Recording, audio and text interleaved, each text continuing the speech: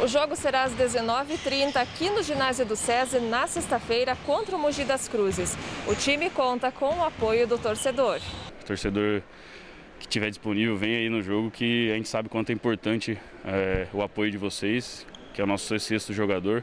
Eu acho que faz uma grande diferença para tentar sair essa vitória. Um presentinho aqui para você. Jamadinha, vamos em homenagem à, à TV Sudoeste uh, presentear né, a Ju pela, com uma camiseta uh, de jogo do Pato e que você seja sempre muito bem-vinda aqui na casa do Pato Basquete. E venha como torcedora.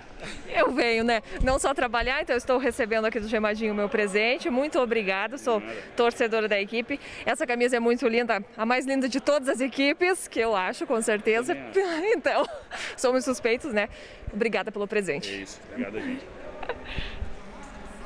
Hoje é dia de presente, tá né? o Dunk, cara? O Dunk, né? O Dunk é. é. muito maroto e ele tá, assim, tá é bastante escola. ativo, o, o, Dunk, né? Então, uh, queria chamar também uh, aproveitar a oportunidade para chamar Tumeleiro. o Tumeleiro, mais conhecido por Guina Azul.